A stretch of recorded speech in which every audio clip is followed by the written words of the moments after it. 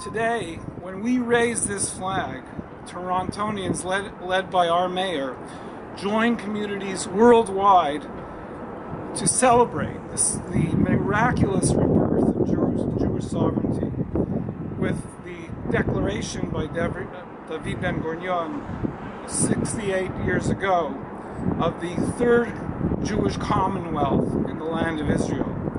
Very land where the Jewish people were sovereign for over a million, uh, a millennium into the Common Era, and and this declaration fulfilled the dreams and aspirations of of millennia of the Jewish people to restore their sovereignty in their historic homeland.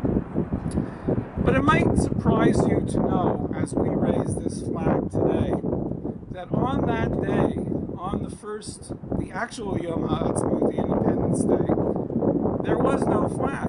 There was no, the, the nascent state of Israel was, to put it let's say, flagless. No flag raising there on this day. After all, this was a Jewish state didn't have a flag, but it had a lot of conflicting opinions about what this flag was going to look like.